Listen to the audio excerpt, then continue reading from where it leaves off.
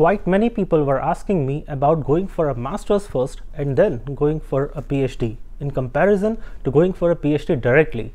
Many others ask me, is it worth coming to the US for studying now? Well, my view is that if you want to pursue PhD, then definitely. For masters and bachelors, however, uh, maybe. So I will tell you five reasons why you should come to the US for a PhD rather than masters or bachelors.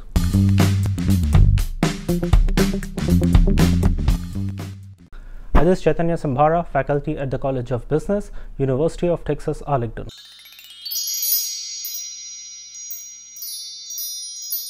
Reason number one is that PhD is a free degree that rather pays. See, scholarships are not guaranteed in bachelor's and master's programs. Not that people don't get them, they do, but not very many students get scholarships. If you do not have a scholarship or a tuition waiver of some kind, you will have to pay for your education. Though many people get partial scholarships, they have to pay the remainder fee from their own savings or bank loans. A thing to remember is that it is not just the tuition, you also need to pay for your living expenses. That includes food, rent, utility bills, and many more expenses such as laundry, books, all sorts of college and living supplies, etc. If you're a bachelor student, you'll have to incur all these expenses for four long years. It is no joke. Often people work long hours at odd jobs such as waiter at a restaurant or a tutor on campus, which eats up their study time.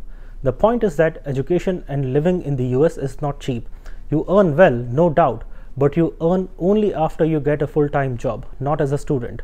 Education in India, on the other hand, is much more affordable. A PhD program in the US is a whole different story. It is fully funded, you in fact get paid to study, you get a decent stipend, and you don't have to pay tuition fee. The stipend you get here is probably better than the stipend you can get in any other country. In summary, fee waiver and financial assistantships and stipends are usually always guaranteed in a PhD program. For that reason, if you are considering a PhD, in my view, the US is the best place to go.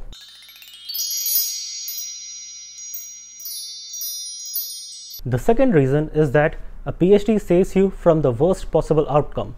See, in last two years, the worst possible outcome has been realized by more people than in the previous years. And what is that worst possible outcome?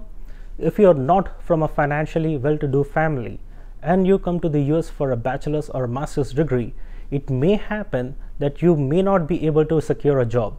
If you do not have a job within 90 days after graduation, you must either enroll in a higher degree program or leave the country. If you did bachelor's, you can go for a master's and if you did master's, you can go for another master's or a PhD. If you do not continue your education and if you do not have a job, you have to leave the US. You will have to start your job search from scratch in your home country and you will have to repay your loans while you're probably earning less in a currency that is lower in value as compared to the US dollars. If you did your PhD in the US, however, you had not paid any tuition fee and you likely won't have much loans. So the financial burden is eased in such a situation. You can look for a job in the industry and you can also look for an academic job. If you come from such a large country like India, where you have so many universities, you are very well qualified to get a good job because of your solid credentials, where you have a well regarded PhD degree from the United States.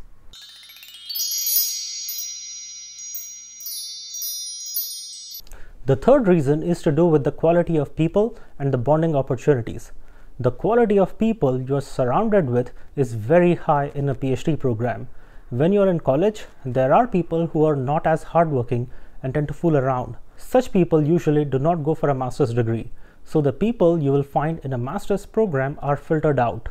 The ratio of people who go for the next level, that is for a PhD then, is even more filtered. You're surrounded by committed people who want to learn and grow. People who are in a PhD program don't have to be there. Unlike bachelors and in some cases even masters, nobody has forced them to go for a PhD. They're all there by choice because they genuinely want to learn and grow. Moreover, you spend many years with them. You don't only interact with your cohorts, but you also have your seniors, you have your batchmates, and then your juniors. You get to be friends with them for many years while you spend every day of your life with them. you get to travel abroad to attend conferences, take small vacations with them, and simply have some good fun. In a master's program, for example, you cannot get such an experience. You are in school just for one to two years, you are busy taking courses, and the people in your classes are not always the same. So you never really get to spend time with people around you and make friends the way you can do it in a PhD program.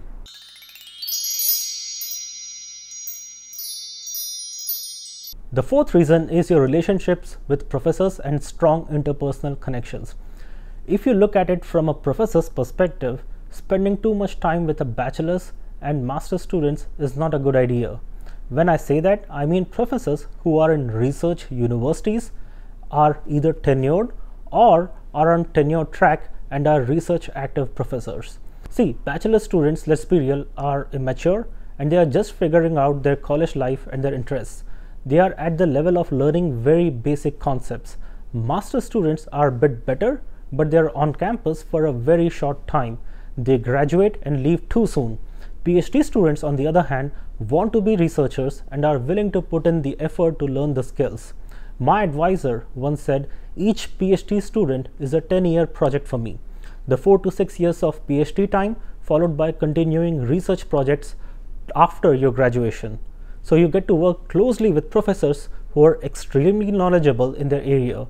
When you are in their bachelor's or master's level classes, you are just learning something that has already been discovered and documented by somebody else. Whereas when you are working closely with a professor on research projects, you are discovering something new, something that nobody has known until now.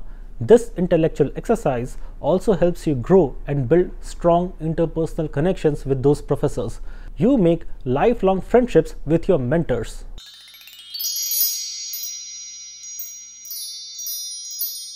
The fifth reason is that you come out of a PhD program more mature.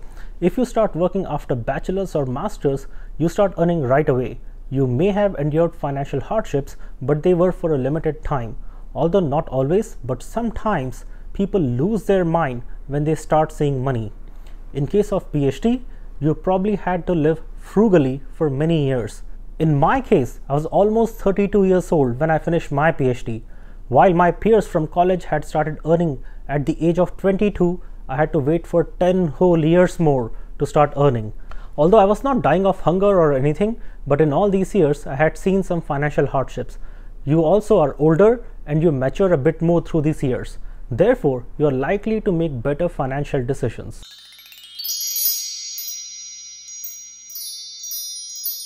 In conclusion, this is just one way of thinking that I presented in this video. None of what I'm saying is universally true. I'm only encouraging people to pursue a PhD program, but I'm in no way suggesting that PhD is a necessary objective that must be achieved. In my honest view, even a college bachelor's degree is not required for success. But in this world as it stands today, at least a bachelor's degree is a must if you are to have a career of some sort. There are exceptions, no doubt, but that is what they are exceptions. Now, if your interests lie in a profession, for example, if you love to code and build applications, and that is what you want to build your career in, pursuing a PhD is obviously a waste of your time. Therefore, there are caveats to everything I said in this video. None of what I said should be taken at face value, except what you want and reject the rest. Everything I said here is just one angle of looking at things and is just my personal view. In fact, one can have many valid arguments against what I said. Thank you for watching. Jai Hind and God bless America.